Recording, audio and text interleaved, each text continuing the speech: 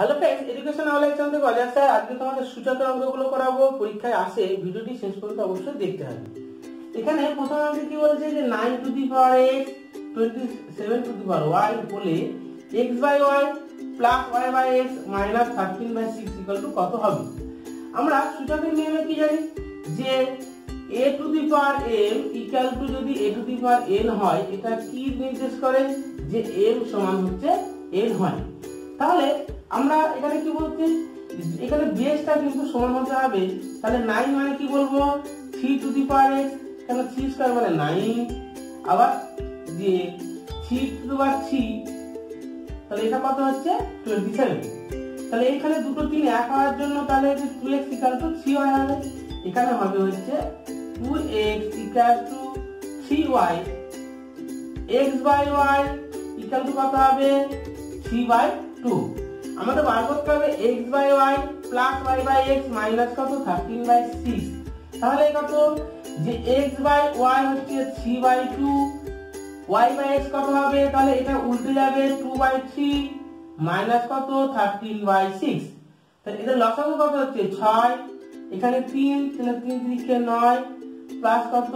দুই দুগুণে চার মাইনাস তেরো। তাহলে কত হচ্ছে? যে নয় আর চারে কত তেরো মাইনাস তেরো বাই ছয় ইকাল কত শূন্য। উত্তরটা হবে শূন্য। নম্বর অঙ্কে কি বলছে? সরলতম মান নির্ণয় করো। সিম্পলিফিকেশন অঙ্কটা কি? যে আটের মাথায় দুয়ের তিন প্লাস ষোলোর মাথায় একের চার, মাইনাস কত? নয়ের মাথায় একের দুই। তাহলে আমরা এখানে কি করব? যে আট মানে কি বলব?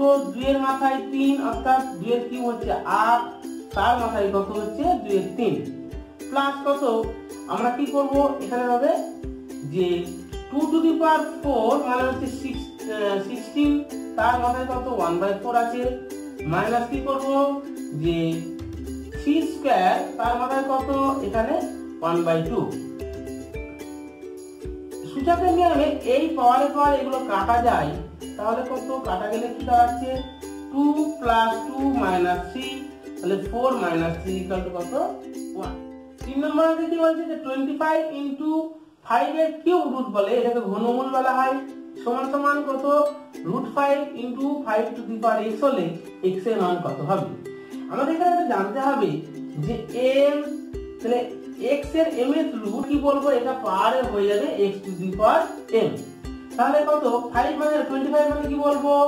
ফাইভ স্কোয়ার ইন্টু এখানে কি হবে? Five to the power one by three তাহলে রুট মানে কি জানি? রুট মানে মাথায় হচ্ছে হাফ তাহলে five to the power half into five to the power X আমরা আরেকটা সূত্র জানতে হবে যে A to the power M into A to the power N যদি হয়, তাহলে এখানে যদি দুটো বেস ইকুয়াল থাকে, এদের পাওয়ার গুলি কি হয়? গুণ থাকলে যোগ হয়। তাহলে এম প্লাস এন হয়ে যাবে।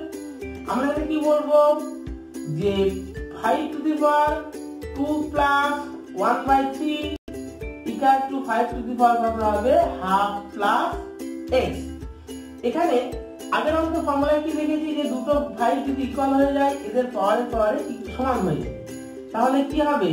Two plus one by three equal to half plus হচ্ছে এক্স এটিকে নিয়ে চলে আসলে কি হবে?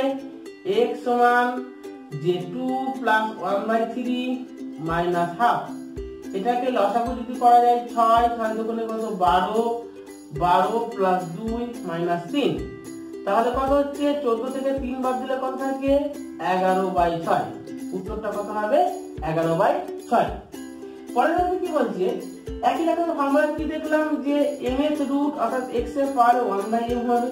এখানে কত? থ্রি আছে। তাহলে আমাদের এই অঙ্কগুলোর ক্ষেত্রে শেষ থেকে আসতে হয়। এই শেষ দিক থেকে আসতে হয়। তাহলে আমরা কি লিখব? এখানে লিখব এক্সের কিউব ইন্টু একই রকম ভাবে Y to the power nine. এখানে কি হবে? জেড এর ক্যালকুলেশনটা হবে কি? যে Z to the power twenty seven এখানে এই থ্রিটা কি হবে? ওয়ান বাই থ্রি হয়ে যাবে। ওয়ান বাই থ্রি হলে এটা কাটলে কত হচ্ছে?